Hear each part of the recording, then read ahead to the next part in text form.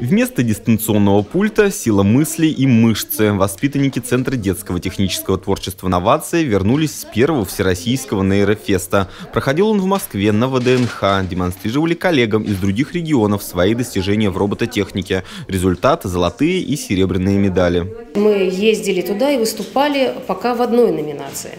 А, называется она «Миослалом», где ребята с помощью э, датчиков электромиограммы могли своими мышцами управлять э, мобильными роботами.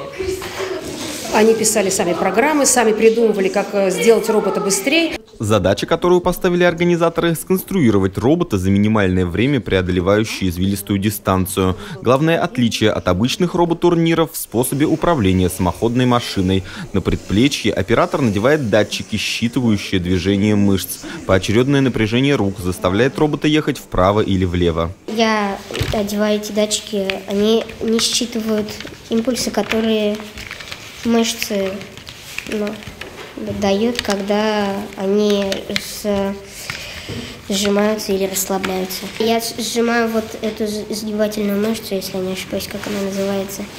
И робот едет. Каждая рука это какой-то мотор. Если же я сжимаю обе руки, он едет прямо. А у этого робота есть вполне конкретная задача – измерять силу сжатия мышц. Разработка ориентирована на спортсменов, для которых важно следить за состоянием организма. Модернизированный прибор покажет, насколько та или иная мышца напряжена после тренировки. Нажимаем на клавишу и начинается работа. Если я слабо нажимаю, то крутится только один мотор. Это обозначает, что я слабо сжимаю. Если нажимать посильнее, то будет крутиться два мотора. Если сильно нажать, то будет крутиться три мотора.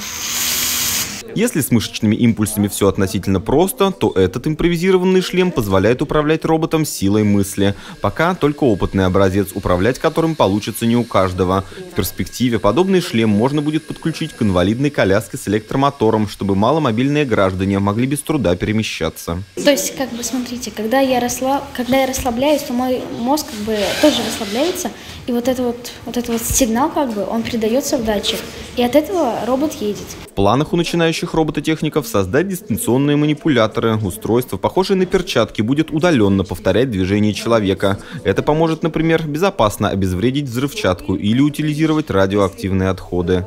Максим Серебряков, Антон Осипов, РТВ Иваново.